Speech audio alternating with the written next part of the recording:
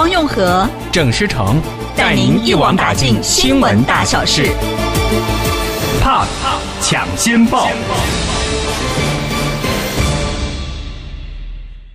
Hello，欢迎大家继续回到 FM 九一点七 Pop Radio 的 Pop 抢先报节目，我是汪用和。我是郑诗成，用和先送你一首诗啊，呃，不过不是我写的，嗯听听看哦。嗯，腾腾杀气满全球，力不如人万事休。光我神州尽我责，东来志气在封侯。哎呦，呦。很有霸气的一首诗对啊，，这不是我写的，是。你这是。老蒋总统写的啊，是厉害吧？啊，哎，你知道，对于老蒋总统，每个人都有他的评价，对。可是很重要的是。史官怎么看他？对。你知道历朝的皇帝都有史官，嗯对不对？嗯所以这个史官怎么去注释，怎么去写，对。在这个朝代里头，这个皇帝即位的时候发生了些什么事情？而且后人是写贤人会更归公正客观，嗯哼避免像司马迁一样的下场。好，我们现场啊啊啊来来到现场接受访问是国史馆主任秘书、文化大学史学系的教授陈立文陈老师哦。啊因为国史馆要出版这个蒋中正先生年谱长编啊。是的，嗯，一到六册对先出版了，出版了对，最近才刚出版，所以这是为什么我们特别邀请到陈老师、陈主秘来到节目当中的原因。不过这个蒋中亮先生年谱长编，我们预计要出呃总共12册二册，是所以先出一到六册。今年那在年底会出七到十二册。OK，哎，我们很好奇，所以是所有的历任总统，我们的国史馆都都会要帮他们出年谱吗？嗯，呃，我们不一定是出年谱，因为基本上在历史的一个观念中间，年谱都是过世了以后、嗯才会去整理他一生的重要的经历来做年谱。但是对于国史馆来讲，因为也是总统、副总统文物管理条例之下的主管机构，是。所以我们对于历任的总统，也许是收集他的照片，嗯。出新闻照片集；也许是做口述访谈，出口述历史；嗯。也许是做他的自传。所以各个我们都会在努力，比如说李登辉先生的，我们都已经出了；金国先生的，他有一些，比方在江西时候的札记，在上海时候的一些记录，我们也都出了。嗯哼，那为什么对于这个蒋中正先生老蒋总统是出他的年谱？呃，应该说，对于蒋中正的东西，因为已经出了非常多，嗯。但是到现在为止，不管是海峡两岸或者是国外，都没有一本完整的年谱。哦。是，那我们在今年度出会出这个，最主要的是因为这个二十年来有很大量的资料开放出来，包括像是在 Stanford 大家可以去看的蒋介蒋中正的日记，嗯，比如说国史馆典藏的非常重要的是蒋中正的档案，嗯，它是以前一般历史学界习惯称的大西档案，啊那呃移送到国史馆之后，做了整个的数位化整理，所以整个都可以开放。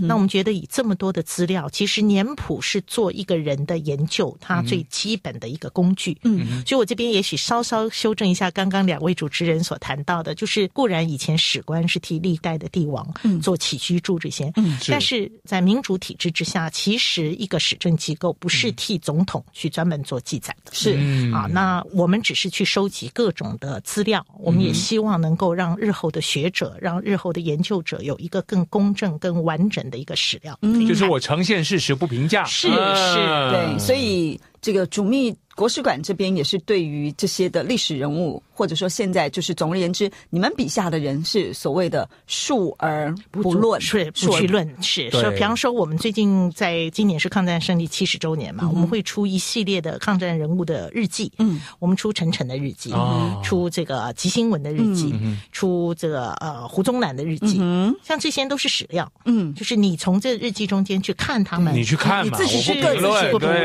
对不对。那我们也出很多的史料汇编，嗯。所以就是像刚刚你讲的，就是述而不论。是，对。可是老师，我们今天可能就要请您要稍微要 论一下。要论一下，因为如果是年谱的话，坦白讲，就是某年某月他做了什么事，这个对我们的听众朋友、对读者来讲，其实真的是，除非我是研究学问的人，嗯。否则真的是很枯燥的，对不对？其实不会啊，因为述可以述的非常的活泼，因为你知道讲故事。是，啊。因为讲故事是述，不是论。对。以来来来，那嗯。我刚刚提到抗战七十周年，对，可是我跟你对不起，用和，我一定要讲这句话，因为我这两天刚刚好研究这个老蒋总统，嗯。因为有一段这个对岸做的这个这个这个这个影片，他说啊，这个他说蒋中正啊先生啊，在这个所谓的呃这个革命时期啊，他做什么事呢？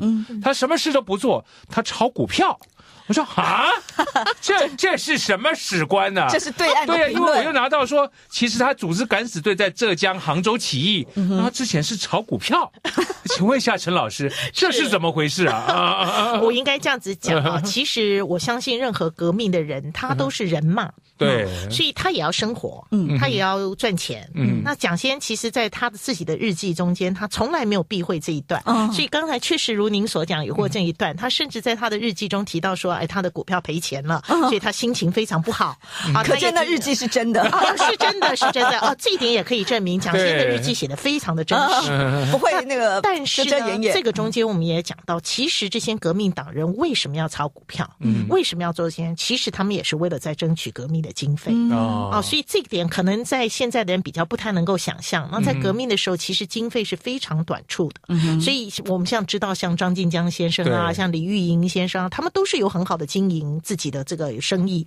那这些钱拿来投资到这个所谓的革命上面去嗯，就像孙中山先当年在革命的时候靠的也是这些人。对所以我不觉得一个人炒股票会有什么样的妨碍他的革命之气。对了，对了，我并没有说炒股票是不好，只是说，哎，奇怪，跟我理解的这个对蒋中正怎么会有炒股票，就是 broker 这样的一个行为，那种感觉，就是哦，原来是这么回事，对啊，所以今年、嗯。今年真的是其实很重要的，对我们中华民国的国民来讲，对。因为是抗战七十周年是，对。那真的是一段血迹斑斑的历史在这个历史当中，又有很多的故事是可以跟大家提的。稍待一会儿，继续请陈老师给我们讲故事。待啊。会儿回来。谢谢。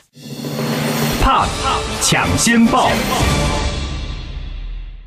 欢迎回到九一七在一起 Pop Radio 台北流行广播电台 Pop 抢先报，我是郑世成。我是汪永和，在现场接受访问是国史馆主任秘书、文化大学史学系的陈立文教授，谈谈国史馆出版的蒋中正先生年谱长编一到六册，嗯，七到对十二册，要到年底的时候才会问世。谈谈我们从抗战、抗战，嗯，嗯。哼，九一八，嗯，抗战的时候有一句话好经典，就说哪一句这个嗯，啊？攘外必先安内，对不对？嗯，可是攘外必先安内，对，这个是应该是从民国二十二年一直到民国二十五年的时候非常重要的蒋蒋先他的一个理念。那时候是国共内战，嗯其实国共内战还没有，我们应该讲说，这个在民国十六年之后，国共就从清党分共嘛，国民党和共产党就分开来了。那一直到民国二十年的时候，日本开始进攻中国的东北，所以九一八事变，接着一路从长城到华北这样下来，所以国内的情势也就越来越紧张。是。那这个时候，蒋先是军事委员会的这个负责的人，但是他提出这攘外必先安内，所以确实有很多人感觉是不同的，就说为什么要先攘外啊？为什么要先安内？对大家觉得那时候我们被日本鬼子欺负的这么严重了，然后还不赶快去打日本？我们共产党再怎么也是自己人呐，对不对？是是，当时很多人真的是这样的看嗯法。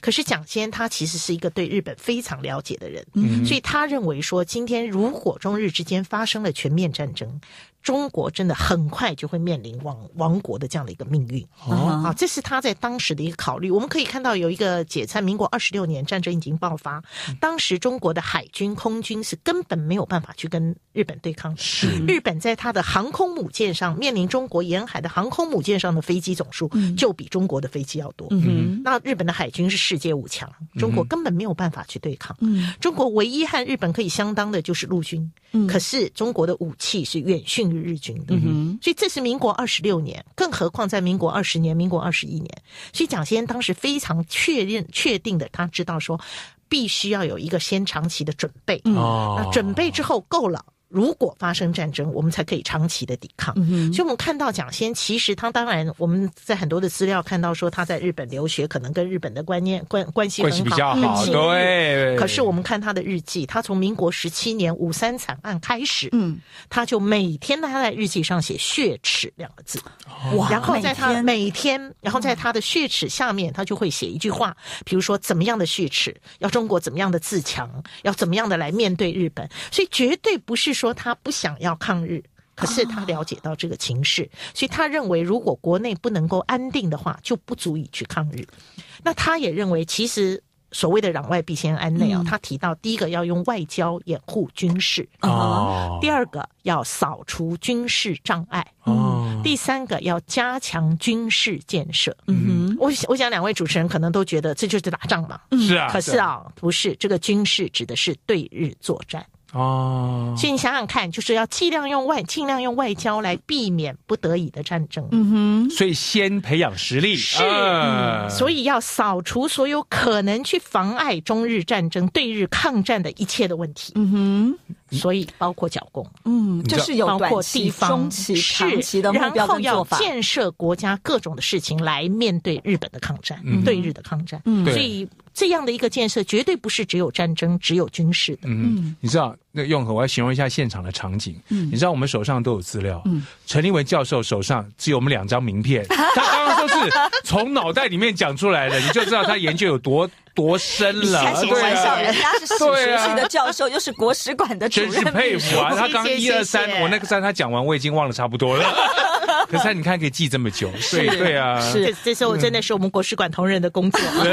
哎，不过真的哦，你说我们平常我们说要血池好了，对不对？我们大概也就是贴个两个字在墙上，然后看到了地利自己下怎。么做？每天写，对，第一个我觉得你要每天写，就代表这件事情对你来说，你真的是每天都想到。对第二个是你写了这两个字之后，你下头还有一些做法，就代表说我不是莽夫一个，对，行我不是说你你惹我我就揍你那种感觉，对是他真的是坚韧啊！我们可以看到，大概在民国二十三年的时候，他当时在这个剿匪的过程中间，进入到江西，然后进入到四川。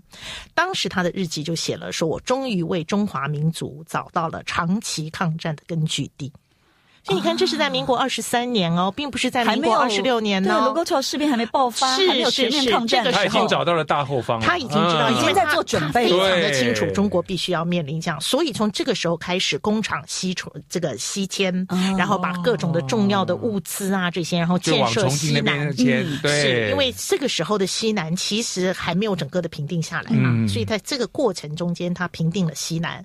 那这个时候也正好是日本从东北到华北这样一路下来的时候，所以蒋先在他的年谱，我们也提到，在他日记中间，他曾经讲过说，在西南之所得。可以补足在东北的沦陷，啊，对整个的中国来讲，嗯这才是他一个抗战整个的。因为那时候九一八东三省沦陷嘛，是全国同仇敌忾嘛，那样的氛围之下，你还不不开战，对不对？对，所以当别人在想着要开战、要东救、嗯要西救的时候，蒋先想的是怎么样来建设整整个的国家，怎么样来面对长期的这个中日之间可能有的问题。嗯，可是那时候你想想看，在东对于东三省的居民来讲，在对，那时候我是中国居民，对，铁骑蹂躏之下的那个的。那个的心情当然就是希望赶快赶快一战呐、对不对？对，是，所以我想这是很大的一个心感感觉上的不同。所以，所以我们想象中的这个蒋介石，这个蒋中正，可能是哎，感觉上是一介武夫，嗯没想到他心思还蛮细密的，就是说我先不跟你正面对抗，但是我要培养我自己的实力，嗯。而且已经开始把东西挪到他认为就是后来的大后方的嗯这个重庆那一带去了，所以这是蛮蛮缜密的，对，蛮缜密的思考，对。嗯。但你知道，对于这个很多的政治人物来讲，他们的爱情故事 也是会让大家所好奇的，尤其。只有四个夫人啊，我们来待会儿来谈一而且我们待会儿要谈的时候，蒋宋美龄在这其中扮演的角色，因为很多人认为说，就是因为那时候的抗战需要，所以好像是有点为了需要而离，要他的事要他的钱结婚。嗯到底是不是这样？我们到底怎么样？待会儿来问。嗯。好，Pop 抢先报，Hello，欢迎大家继续回到九一七在一起 Pop Radio 的 Pop 抢先报节目，我是汪永和，我是郑诗成，在现场接受访问是国史馆主任秘书、文化大学的史学系教授陈立文陈老师，谈谈国史馆出版的蒋中正先生年谱长编一到六册。对，我想很多人对于这个老蒋总统有不同的看法、哦。对那这个东西是大家很多见仁见智。但我们今天谈的，我觉得有过要讨论，那有功也要很客观的去评论。但不管怎么样，今天不是谈功过，今天谈的是我们就国史馆所出版的这个年谱里头的嗯。所发现呈现的一些史料，对来让大家更加的了解老蒋总统在那些年当中他做了些什么事情。嗯不过提到刚刚我们前面两段有提到抗战的这个部分，可他还会想说，哎啊，怎么会有四个太太？毛福梅是原配，后来还有姚志成陈洁姚衍成如、姚也成、姚野成、陈洁如姚也成，宋美龄姚野成，对对对是。那这里头，大家当然最清楚的是宋美龄，我们待会来讲。是可毛福梅好像毛太夫人原配，对毛太夫人嗯老蒋总统对她非常不尬意啊。呃，我们其实从讲的日记和资料中间，确实可以看到蒋先生对这四个女性有很多不同的评价。那他对毛夫人的确是有一些，因为我觉得他们个性不同，嗯然后真的是一个传统的婚姻。嗯那蒋先基本上他就不是一个传统的人，嗯所以他在婚后不久就离开家乡，然后一他十直在五岁就娶了这个毛夫美，他是是指腹吗？怎么会呃，这么早？不是，是因为其实我们从这个民国十五年以前嗯的嗯。蒋介石，就毛思成先生所写的，蒋先生小时候可能是一个比较顽皮，比较这个，哦，他甚至用了顽劣这两个字所以。结了婚要拴住他，是。吧？所以我相信王太夫人是这个意思。哦，嗯。所以这个这个太太是王太夫人帮他挑哦，的，是是是，对不对？对对对，是好好。OK，挑了一个他确实感情不是太好。可是第二个姚野成听说这个蒋中正这个总统对他的评价也不是太好啊，其实姚野成一般我们都说是他的妾，嗯。那他是上海的一个，就是在。蒋先身边照顾他，但是姚野成其实一直后来跟跟着蒋先，那到了台湾之后，也是由伟国先生蒋伟国先生在奉养他的，所以他他在蒋家的地位其实非常的清楚是这样的情况。嗯那蒋先对他什么不满呢？我们大概从几个地方看到，第一个就是姚也成他的讲话可能比较粗俗一点，哦，那第二个就是听说他会赌博，所以蒋先每次看到就非常的不高兴。嗯哼，那第三个呢，有一些地方看起来似乎姚野成跟蒋介石的母亲有过一些冲突，所以他就曾经蒋先在日记中就非常不高兴，说这个姚野成抵抗、抵触他的母亲，哦。类似像这些事情。不过我个人是觉得夫妻任何的男女之间都有争执嘛，对。那不似乎没有必要去把这几个小的点就扩大成为说讲是多么的不喜欢这个、嗯这些，我觉我觉得是不太一样。他这个这个那个蒋中正这个总统的四个老婆里面，姚也成算是知名度稍微低一点点，是是。他其他三个，当然第一个原配嘛，嗯。可后面两个的知名度非常高，嗯尤其这个陈洁如的故事，哇，那个我昨天去查，一下陈洁如。不是看了有些故事真的假的不晓得，因为第一个是我们的这个蒋中正去追人家陈洁如，两个差了很多岁。那时候蒋中正已经三十四岁，然后陈洁如好像在十十五岁而已。然后后来怎么去不要说处置，怎么后来陈洁如怎么离开上海？然后这这一段故事好像感觉上非常的呃，怎么讲？感觉上这个蒋中正手腕非常的高明。我跟你讲，嗯所以啊，你去查的这个资料啊，真的假的不知道。你刚才也讲了，因为网络上头有些东西对很多这种资料不可尽信，所以来我们听听专家怎么讲，对对，不这个我要讲。嗯是这个，我应该这样讲啊，在蒋中正的年谱中间，其实没有记述到这么多的事情。哦 OK，但是呢，您刚刚所提的这些资料，确实它也不全然是网络的资料，嗯最主要的是因为陈洁如她自己曾经有过一本陈洁如的回忆录，嗯对有有虽然没有有出版，但是这个东西在，而且他中间也写了很多。那事实上，学者也对这个东西做了很多的研究，比方说上海复旦大学的陈燕呐、这些啊，他们也提到，从真正讲的日记，从真正的史料中来对照陈洁如的日记是有很多问题的。哦，真的是，那当然，嗯。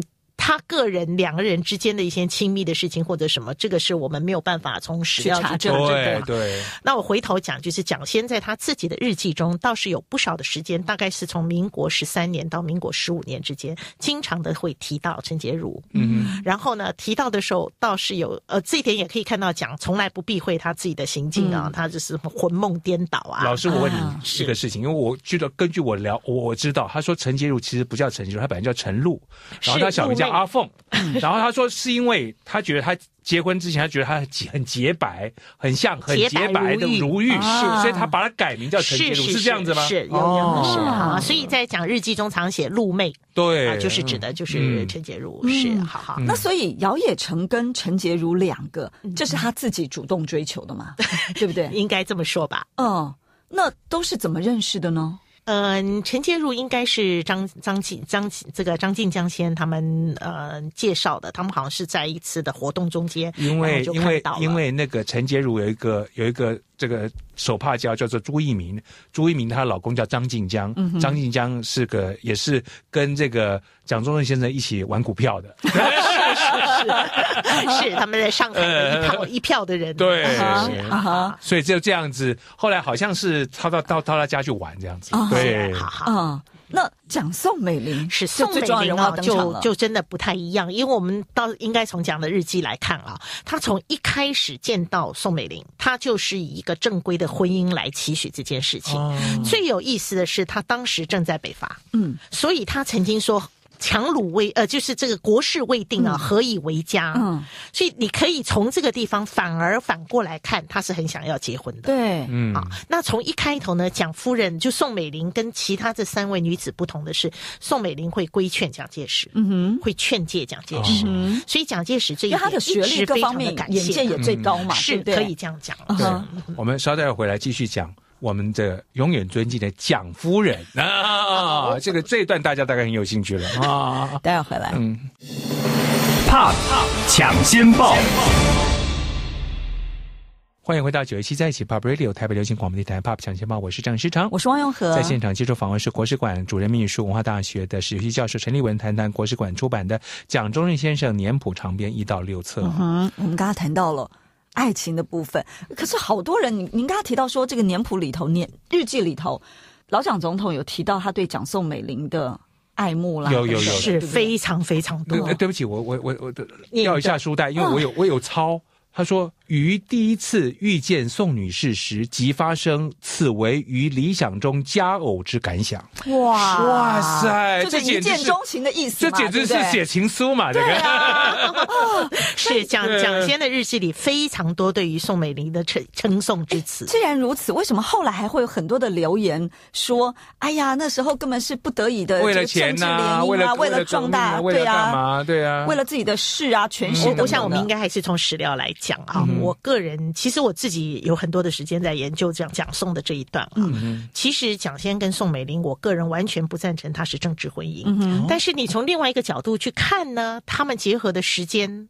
他们结合的这个过程，也确实是一种政治婚姻啊。怎么讲？就说一个是北伐军的总司令，嗯，一个是这个呃，等于是江浙财团的有这样的一个家世背景的这样的一个千金，嗯对，这两个人碰到在一起，任何人去看都是一个政治婚姻。嗯，嗯。但是在这样的情况之下，你不能够去否认他们两个人之间内心的契合。嗯。就像刚刚所这个主持人所提到的，蒋在一看到宋的时候，嗯。他其实就完全的惊为天人，嗯而这个惊为天人是跟姚冶成跟秦陈洁如不一样的。嗯。我刚刚曾经说过，陈他跟陈洁如相处的时候，他的日记中常讲的就是魂梦颠倒啊，然后这些呢，也是啊很多的很爱慕啊，可能是情欲。啊，但是蒋夫人带给他的是一个新的眼界，是一个新的，甚至包括国外的世界、国外的礼俗、国外的这些思想、宗教啊、宗教的信仰，然后各方面，最主要蒋夫人她经常的可以劝诫蒋介石。嗯我们从蒋先的日记中间，不管是在开罗会议，不管是在他担任国民政府的时期，甚至他到了台湾，在很非常这个低落的时候，蒋夫人都随时在他的身边，给予不同的照顾，给予不同的这种支持。嗯，还当个在野党监督他的言行，认为是是 真的，真的是。真所以比如说呢，比如说什么事情哦，我他举个几个提出什么例子好了劝诫，比如说蒋先他曾经很不不满姚冶成的，就是姚冶成不照顾他，生生生病的时候姚冶成不照顾他。嗯可是我们想象中蒋夫人是娇滴滴的，是。是蒋先生病，他曾经有一段时间得伤寒，蒋夫人真的是轻视汤药，哎呦。哦照顾。那你在讲的日记中都可以看到的很清楚。依照蒋夫人的背景，对不对？是家世这么好，对啊，那我们讲西安事变，西安事变在事情发生的时候，蒋这蒋先被抓了起来。嗯蒋夫人在上海一听到这个事情，她第一句话就说：“如果我跟着蒋先一起去东北，就不会发生这个，就一起去西安，嗯就不会发生这个事情了。因为真的在蒋蒋先发怒或者是暴怒的时候，只有蒋夫人可以从中转换。啊那我们大概也都知道，蒋夫人亲自到西安去拯救他。对其实如果看过蒋夫人自己所描述的一些啊，她在这个西安事变中间对蒋的信任，嗯，对整个局势的这种掌握，以及他自己的勇气，他是把他的手枪交给端纳，嗯。跟端纳讲说：“你不要说，你就是把我杀了，嗯哼。好，我不要落到这个如狼似虎的东北军手中嘛。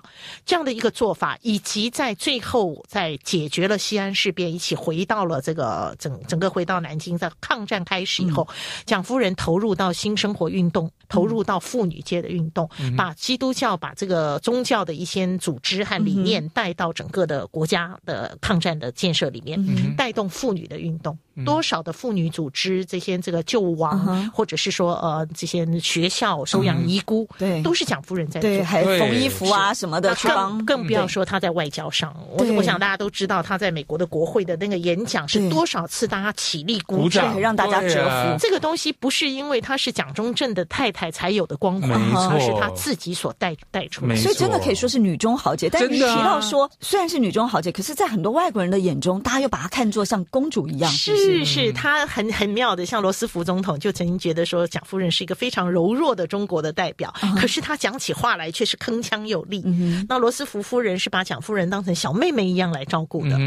陈纳德是飞虎飞虎将军，他就曾经在他见到蒋夫人第一天，他的日记上就写了说，她将是我心目中永远的小公主。所以你可以知道，刚才这个主持人称说永远尊尊敬的这蒋夫人，其实在在非常多的新人的心目中，蒋夫人是用她的功德、功业，或者是她的这个富德、富荣、富功啊各方面去塑造出来的这样的一个。我我觉得就这个，他去这个美国国会，希望这个美国资助我们这援助，就这个部分来讲，我觉得一般人做不到。去那种场合，你想想看，我养尊处优，我去那边，对不对？用这么大的目的，而且他讲话，我就因为我看过好几。他那个讲话铿锵有力，你几乎听完对听完他讲话，你就是。美国就要拨款了。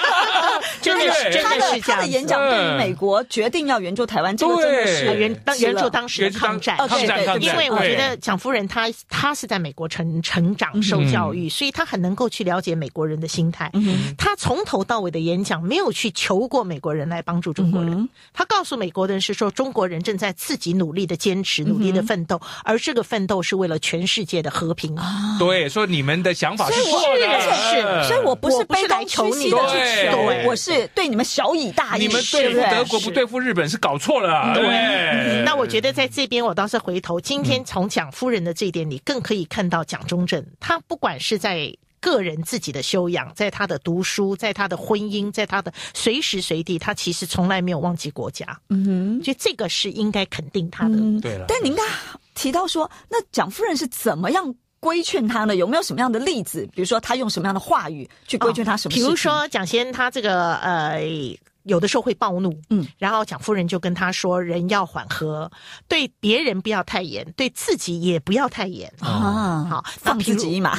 对，因为蒋先有时候是自己跟自己过不去这样子。那也也有，比方说这个蒋先去这个呃。就是太强烈的指责别人的时候，蒋夫人就会在旁边拉他一下。所以我刚刚讲到说西安事变的时候，蒋夫人之所以会讲说，如果我在，就不会发生这些事情。那蒋先生也很好啊，我举一个小例子啊，他在这个结婚没有没有多久之后，就带着蒋夫人回到家乡。嗯，然后呢，他有一天带着蒋夫人去看他的这个家乡的这个妹妹。嗯，结果人房间关起来，然后听到打麻将的声音。嗯，蒋先生就在他的日记上写说，他非常。惭愧，怕恐为这个三妹所轻也。这三妹就是指的是蒋夫人啊，然后会会轻视这样的事情。所以你可以看到，说她其实是兢兢业业的。那他们对她又爱又敬哦，有几次发生争吵，结果蒋夫人就离开了。嗯，那蒋先生当然就很难过，所以又去。孔宋家去把他接回来，然后蒋夫人就会跟他讲说：“呃，我希望你要更加的努力，我希望能更以国家为重，更这个，所以确实随时都在。”所以结论是，原来我们蒋中正老总统是 PTT 的会员。是互敬互 谅。开玩笑，开玩笑。对，今天非常谢谢我们的陈立文老师，也是国史馆主秘，对，来告诉我们很多精彩的故事。谢谢谢陈老师，谢谢谢谢大家。